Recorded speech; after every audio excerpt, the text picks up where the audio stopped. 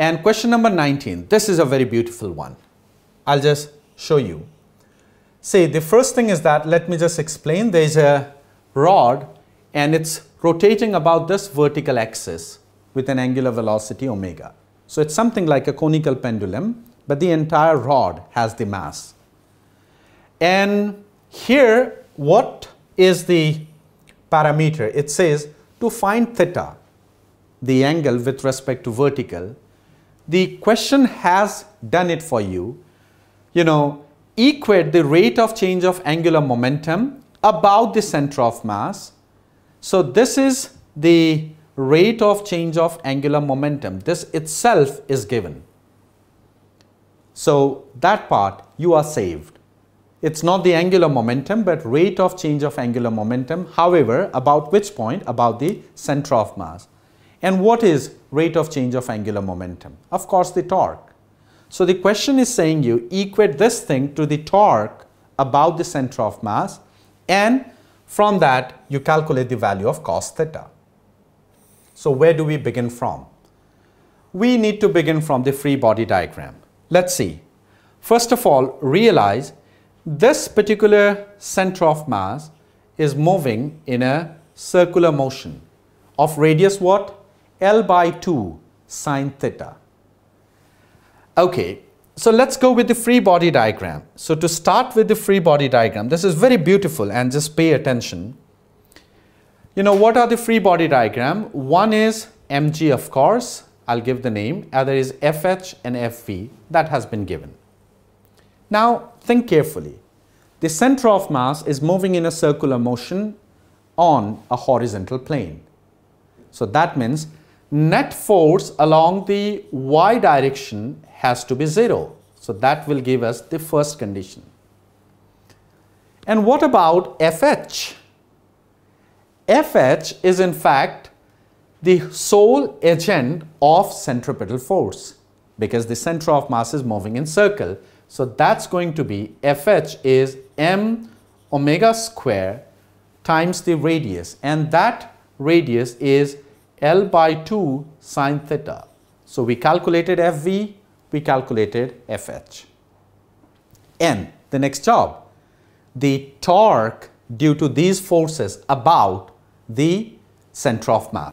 Okay, so here, you know, this is FV acting at this point in this direction, that's FV, and here is FH acting in this direction, and this angle is theta. That's a straightforward one. So the torque about the center of mass would be generated only by Fv and Fh. And one more thing, just be very careful. It says, look at the direction. To find theta, equate the rate of change of angular momentum and what is the direction? Direction going into the paper. So this particular thing has the direction cross into the paper. So that you need to be very careful. So what we'll do, the torque due to these forces about the center, the torque due to Fv will be cross, the torque due to Fh will be dot. So this is going to be L by 2 Fv sine theta minus L by 2 Fh cos theta because the angle would be 90 minus theta. So sine 90 minus theta will be cos they are subtracted because this torque is cross, this torque is dot and this torque should be equals to what was given ml square by 12 omega square sine theta cos theta. A little bit of calculation, all just cancellation you require to do and you would get the value of cos theta as 3g by 2 omega square L. Option number 4 is the correct one. It's a beautiful one, worth doing. The next. The next question, question number 20, let's see. There's a block of mass 1.9 kg. It is at rest at the edge of a table of height 1 meter. And a bullet of mass 0.1 kg comes, collides with the block and sticks. Initially, the bullet had a speed 20 meter per second. At least, basis this much data, we can calculate the velocity of the bullet block combined system just after the collision. So how can we do that? The block initial momentum is 0, but the initial momentum of the bullet, let's say 0.1 kg 20 meter per second. So that will be 2 kg meter per second initial momentum of bullet. Eventually, the bullet block will be one system 2 kg and let's say v is the velocity of that combined system. So this v will be 1 meter per second. So all done. The velocity just after the collision. But the story is something more after that. And let's just see a quick figure. And that's how it comes here. This is that given arrangement. And this moves with 1 meter per second. All right. And there is also the height which is given. Let's see the height of the table. Yes, 1 meter. The second line you can see. And this is 1 meter, the height of the table. And apart from that, this of course is the ground. That's great. Now this system will move parabolically and it would land here. Now we need to calculate the kinetic energy. I don't think so there is any issue because it's a case of mechanical energy conservation.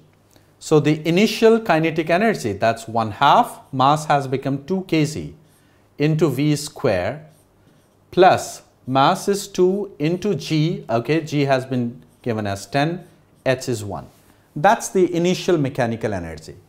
And this will be equals to 1 half mass into v square but we have to calculate the kinetic energy. So this would be the entire thing, the final kinetic energy. So this is 20 plus 1, 21 joule, option number 4, that's the correct one.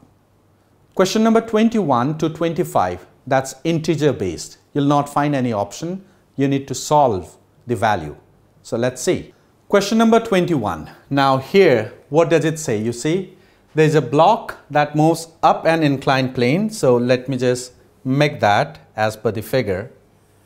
And if you can see the question, it also says that the inclined plane is inclined at 30 degree with horizontal and there is a block.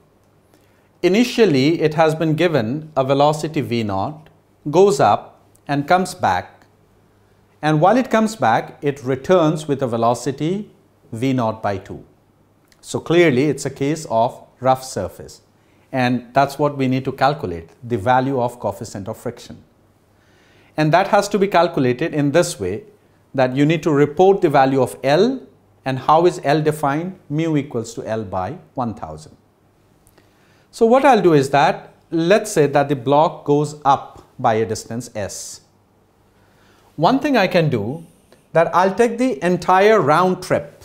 Initial goes and comes back. The change in potential energy is zero. So what's the work done by friction minus mu mg cos of 30 into s, that's the distance. So this much is the work done by friction in the ascent part multiplied by 2. The same work would be done by friction because in both the case that's doing negative work. So work done by that particular friction would be change in kinetic energy 1 half m v naught square by 4 minus of v naught square. Now the trouble is that this equation also has s and s has to be eliminated. That's not a problem. What you can do is that now consider just the ascent. If you consider the ascent, work done by friction is minus mu mg cos 30 multiplied by s during the ascent and that is change in kinetic energy which is minus half m v naught square, right? But there is also a change in potential energy and that's going to be plus mg s sine 30 because the height of the block rises by s sine 30. So it's all done. With these two equations you can solve and just a simple division will allow you to do and the value of L will come out to be 346. Yes, there's a little bit of calculation part, but conceptually It's straightforward, though it's a nice one.